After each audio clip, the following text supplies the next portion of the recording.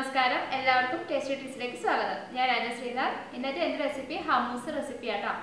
നമ്മൾ ബാർബിക്യൂ ഒക്കെ ചെയ്യുമ്പം അതിന്റെ കൂട്ടത്തിൽ കഴിക്കില്ലേ ഹമ്മൂസ് അതാണ് ചെയ്യുന്നത്. നമ്മൾ കടല വെച്ചിട്ടാണ് ചെയ്യുന്നത്. അപ്പം നമുക്കിത് നല്ല ഹെൽത്തി ആയിട്ടുള്ളൊരു ഐറ്റം കൂടിയാണ്. പിന്നെ നമ്മൾ അല്ലാതെ തന്നെ വീട്ടിൽ ഫ്രൈ ഉണ്ടാക്കുമ്പോൾ ചിക്കൻ ഫ്രൈ ഒക്കെ ആണെങ്കിൽ കുബൂസിന്റെ കൂട്ടത്തിൽ കഴിക്കുമ്പോൾ മീൻ ഇതും പിന്നെ ഗാർലിക് പേസ്റ്റും ഒക്കെ കൂട്ടി കഴിക്കാൻ നല്ലൊരു കോമ്പിനേഷനാണ് അപ്പോൾ എല്ലാവരും ഒന്ന് ട്രൈ ചെയ്ത് നോക്കട്ടോ അഭിപ്രായങ്ങളൊക്കെ അറിയിക്കണം. ബാർബിക്യൂ ചെയ്യുമ്പോൾ അതിന്റെ കൂടെ ഞാൻ ഇട്ടിരിക്കുന്ന ഹമ്മൂസ് ഈ സെയിം റെസിപ്പി തന്നെയാണ് കേട്ടോ അപ്പോൾ ഇനി നമുക്ക് വീഡിയോ കാണാം.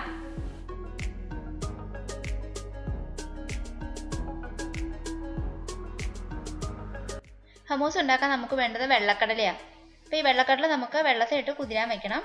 ഞാനിവിടെ ഒരു കപ്പ് വെള്ളക്കടല എടുത്തിട്ടുണ്ട്. ഇത് ഓവർനൈറ്റാണ് ഞാനിപ്പോൾ സോക്ക് ചെയ്ത് വെക്കുന്നത് നമുക്ക് മിനിമം ഫോർ അവേഴ്സ് എങ്കിലും സോക്ക് ചെയ്ത് വെക്കണം. ഫോർ ടു എയ്റ്റ് അവേഴ്സാണ് സോക്ക് ചെയ്ത് വെക്കുന്നത് നല്ലത്. കടല നന്നായി കുതിർത്ത് വെച്ചിട്ടുണ്ട്. ഇനി ഇപ്പോൾ ആദ്യം ഇതൊന്ന് വേവിച്ചെടുക്കാം. അതിനൊരു കുക്കറിലോട്ട് ഇട്ട് കൊടുത്തിട്ട് നമുക്ക് വെള്ളം ഒഴിച്ചു കൊടുക്കാം. കടല മുങ്ങി കിടക്കാൻ ആവശ്യത്തിന് വെള്ളം ഒഴിച്ചു കൊടുക്കണം.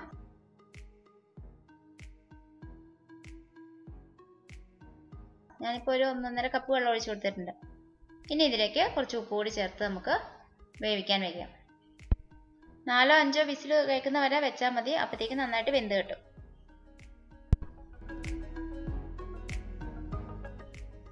കടല വേവുന്ന സമയം കൊണ്ട് നമുക്ക് ഹുമൂസ് ഉണ്ടാക്കാൻ ആവശ്യമായ താഹിനി പേസ്റ്റ് ഉണ്ടാക്കാം. താഹിനി പേസ്റ്റ് ഉണ്ടാക്കാൻ വേണ്ടി നമുക്ക് വേണ്ടത് വെളുത്ത എള്ള. ഒരു പാൻ വെച്ചിട്ട് അതിലേക്ക് ഒരു കപ്പ് വെളുത്ത എള്ള ഇട്ട് കൊടുത്തിട്ടുണ്ട്. ഇനി ഇത് നന്നായിട്ടൊന്ന് ഡ്രൈ റോസ്റ്റ് ചെയ്തെടുക്കണം. നന്നായിട്ട് ഇളക്കി കൊടുക്കുക. ഇത് പെട്ടെന്ന് തന്നെ മൂത്ത് ആ ഒരു ഫ്ലേവർ നമുക്ക് കിട്ടും. ചെറുതായിട്ട് കളർ മാറി വരുമ്പോൾ തന്നെ ഓഫ് ചെയ്തെടുക്കുക. താഹിനി പേസ്റ്റ് ആയിട്ട് നമുക്ക് വാങ്ങാൻ കിട്ടും. അങ്ങനെയാണെങ്കിൽ അത് നിങ്ങൾ ഉപയോഗിച്ചാൽ മതി. താഹിനി പേസ്റ്റ് ആയിട്ടില്ലെങ്കിൽ ഇതുപോലൊക്കെ എടുത്ത് ചെയ്താലും മതി. ഇപ്പം ഞാൻ ഒരു കപ്പാണ് വെള്ളം എടുത്തിരിക്കുന്നത്. ഇതിപ്പോൾ എനിക്ക് ആവശ്യമുള്ളതിൽ കൂടുതലുണ്ട്. പക്ഷേ എന്റെ മിക്സിയുടെ ജാറിൽ ഇതൊന്ന് പൊടിഞ്ഞ് കിട്ടണമെങ്കിൽ ഇത്രക്കെങ്കിലും ക്വാണ്ടിറ്റി ഉണ്ടെങ്കിലേ പൊടിഞ്ഞ് കിട്ടുകയുള്ളൂ. അതുകൊണ്ടാണ് ഞാൻ ഇത്ര എടുത്തത്. നിങ്ങളുടെ മിക്സിയുടെ ജാർ ചെറുതാണെങ്കിലും അതല്ല ഫുഡ് പ്രോസസ്സറാണ് യൂസ് ചെയ്യുന്നതെങ്കിലും കുറച്ച് ക്വാണ്ടിറ്റി എടുത്താൽ മതി. ഇതിപ്പോൾ നന്നായി മൂത്ത് വന്നിട്ടുണ്ട്. ഇനിയിപ്പോൾ നമുക്കിത് ഓഫ് ചെയ്ത് വെച്ചിട്ട് തണുത്തിട്ട് വേണം പൊടിച്ചെടുക്കാൻ. ഇപ്പോൾ നമ്മുടെ വെളുത്തുള്ളി നന്നായിട്ട് തണുത്ത് വന്നിട്ടുണ്ട്. ഇനിയിപ്പോൾ ഞാനിത് ആദ്യം മിക്സിയിലിട്ട് ഒന്ന് പൊടിച്ചെടുക്കാം.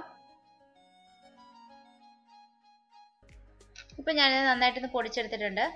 ഇനി ഇതിലേക്ക് ഇത്തിരി ഉപ്പ് ചേർത്ത് കൊടുക്കുക.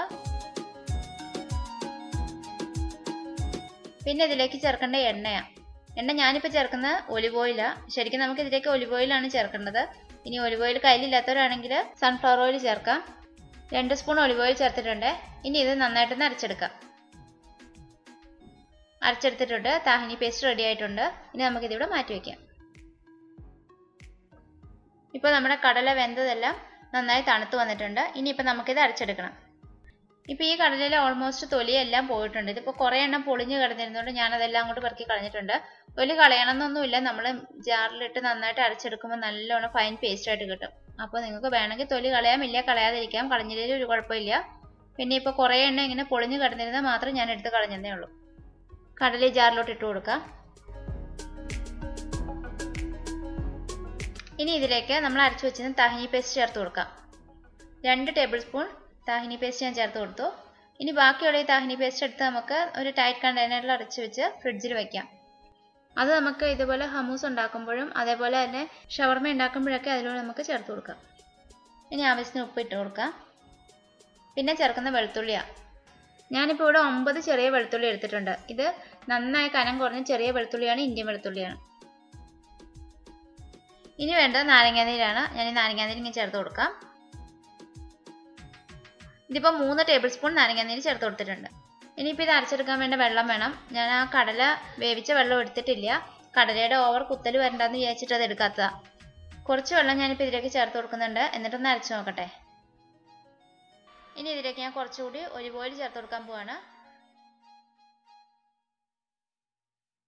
ഞാനിപ്പോൾ രണ്ട് ടേബിൾ സ്പൂൺ ഒലിവ് ഓയിൽ ചേർത്തിട്ടുണ്ട്. അത് കൂടുതൽ വേണ്ടവർക്ക് കൂടുതൽ ചേർത്ത് കൊടുക്കാം. പിന്നെ നമ്മൾ കഴിക്കുന്ന സമയത്തും കുറച്ചുകൂടി ഒലിവ് ഓയിൽ ചേർത്തിട്ട് വേണമെങ്കിൽ കഴിക്കാം. ഇനിയിപ്പോൾ ഇത് നന്നായിട്ട് അരച്ചെടുക്കാം. അപ്പോൾ അതിന് ആവശ്യത്തിന് വെള്ളം ചേർക്കേണ്ടി വരും. എത്രയാണോ നിങ്ങളുടെ മിക്സിയുടെ ജാറിനനുസരിച്ച് വെള്ളം ചേർത്ത് കൊടുത്തിട്ട് നല്ല ഫൈൻ പേസ്റ്റ് ആയിട്ട് അരച്ചെടുക്കാം. ഇപ്പം ഞാനിത് നന്നായിട്ട് അരച്ചെടുത്തിട്ടുണ്ട്.